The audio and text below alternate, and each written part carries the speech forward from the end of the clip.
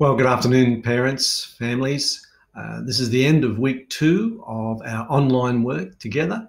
It's been a good week, and uh, certainly students are learning, and it's it's great to see the cooperation between the school and the home.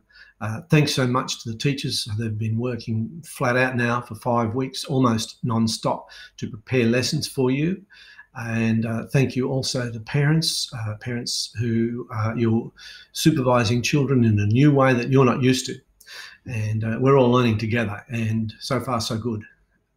Um, we have uh, numbers of students, a small number of students here at school. They're the ones that qualify according to the parent, uh, the Premier's criteria, I should say, which was if you can't learn at home, you can come to school. And so we're working with a small number, as I said, of students here. Uh, however, at home, the majority of our children are learning at home, and it seems to be going quite well. So, uh, listen, for you parents who are working at home with the children, um, just realize if you have a problem, the teachers are there for you. However, it may be that if when you have when you have that problem, that um, they will not get back to you straight away. They're probably either teaching or videoing lessons for week four and week five. So just be aware of that. They may take a little bit of time to get back to you, but they will get back to you. Um, we have a debrief meeting every afternoon to discuss how the day's events have gone, what's worked, what needs changing. And um, uh, one thing that impresses me is the commitment the teachers have to getting back to you on questions that you are raising.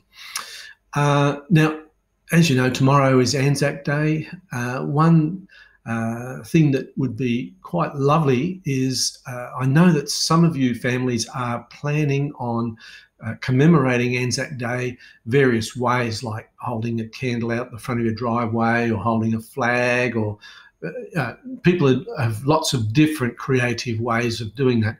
Um, if you're happy with this, we would love to get a photo of how your family celebrated or commemorated uh, Anzac Day if you're doing that. If you don't do that or you're not commemorating it, uh, that's fine. But if you are and you're happy to send a picture, uh, say uh, on Monday, to would you please do that? We'll put them all together, and uh, that should be quite a lot of fun and quite good to again connect uh, all our families at home.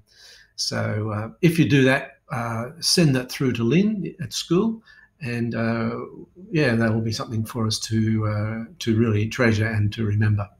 So it's farewell from me again. Have a good weekend, and we'll look forward to seeing you all on online learning next Monday morning. Bye for now.